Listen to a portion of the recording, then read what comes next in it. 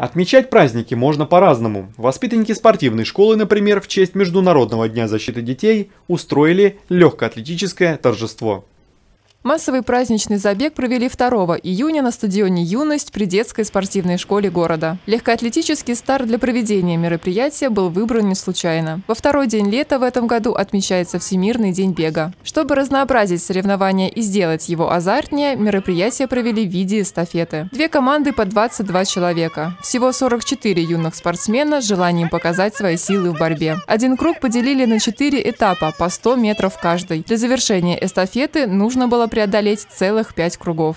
Данные соревнования а, объединяют э, нас силой духа, объединяют нас здоровым образом жизни и объединяют нас любовью к бегу.